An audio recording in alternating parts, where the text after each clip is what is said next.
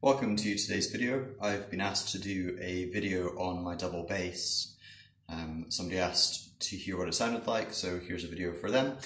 And um, so that it's applicable to double bassists, but also to um, other chordophone users, guitarists of you know, both bass and electric, you know, bass and, and lead, so electrics, classicals. This all works for for you. Um, same thing with with banjo. Uh, my my banjo students will benefit from this as well, um, and my mandolin students as well. What it's going to be on is two things.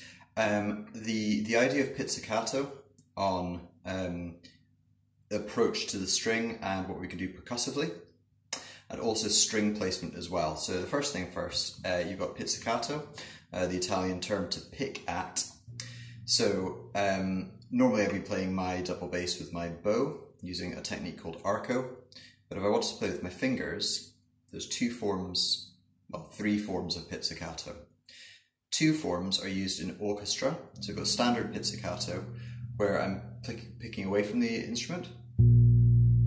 It's soft,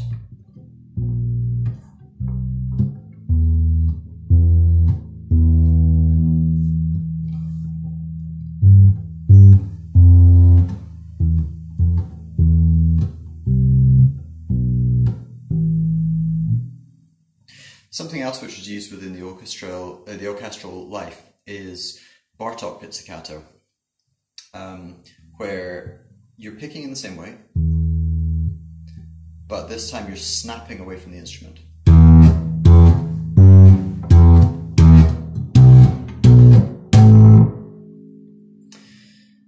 As you snap away from the instrument, it catches on the string, uh, sorry, the string catches on the, the fingerboard and as it slaps back, then you get a percussive tone. Uh, so jazz musicians use an element of this.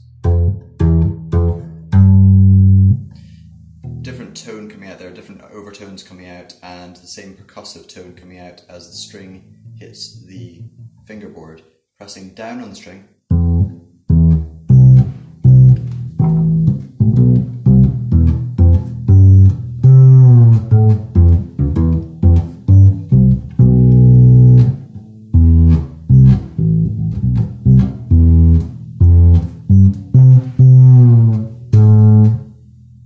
So here's orchestral, Bartok,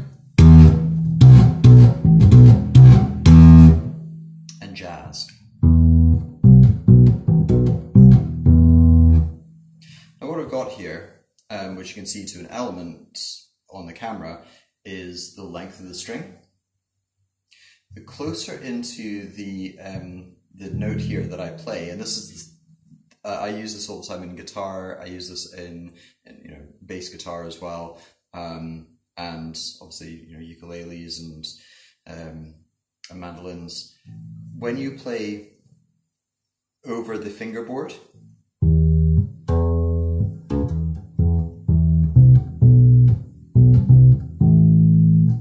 Then you get that soft tone as the overtones are brought in. I play further down,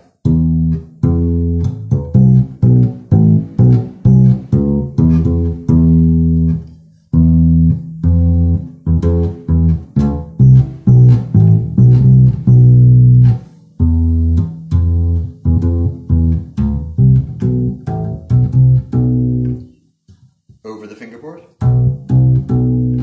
right down where the bridge is. And you can hear the difference in tone there. So I suggest you give that a try, whether you're a double bassist or uh, you're a chordophone player of some sort, then um, give that a try. Play with your hand closer to the bridge um, and, and, and closer into your, your left hand over the fingerboard or the fretboard. Um, I just want to finish the video by saying a couple of different things that I've been thinking about recently.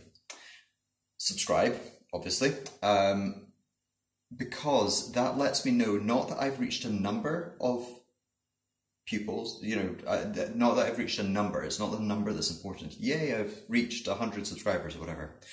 Yay, I've reached 100 subscribers. It's the reach. I'm a teacher. I want to reach people with my teaching. So subscribe to this, share it with people so that if you've enjoyed the teaching of this, so that it reaches more people. I'll See you next next week's video. Bye for now.